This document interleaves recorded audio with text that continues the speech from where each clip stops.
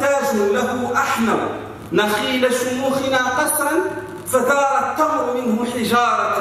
رديفاي في الأيام رديفاي في الأيام. حتى اتهمت عليك العين والحلقة.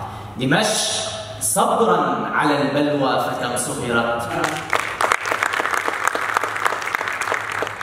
أنا شاعر. حقيقة ما يميز هذه الدورة من مهرجان الشعر العربي أنها جعلتنا أقرب إلى جهات متعددة تؤمن كثيرا بالمناشط الشعرية والثقافية التي يقودها شباب مغترب هنا في إسطنبول.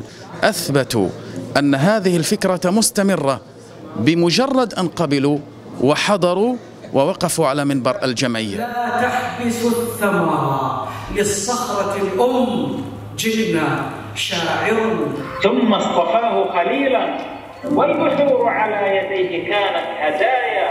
ورد ساعتها ويابس الدمع. لا تسأل. لماذا اسطنبول؟ آه، الجمعية جمعية الشعراء العرب الجمعية الدولية للشعراء العرب. وأكثر مكان في تركيا يتجمع فيه العرب هو اسطنبول.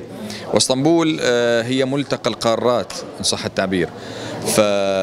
فلهذه المركزية ولهذه الميزة أثر كبير إضافة إلى الاهتمام الكبير باللغة العربية آه، في أغلب مؤسسات إسطنبول. لذلك الاختيار دائما في آه، دورة المهرجان المركزي تقع على إسطنبول وهي ملتقى الثقافات وفيها من العرب آه، كثير من الجنسيات. إليكم وبعادي ليس الحب إن صدقت بحوب يوم بدر وخيبر وحنين ووهاد we Moisés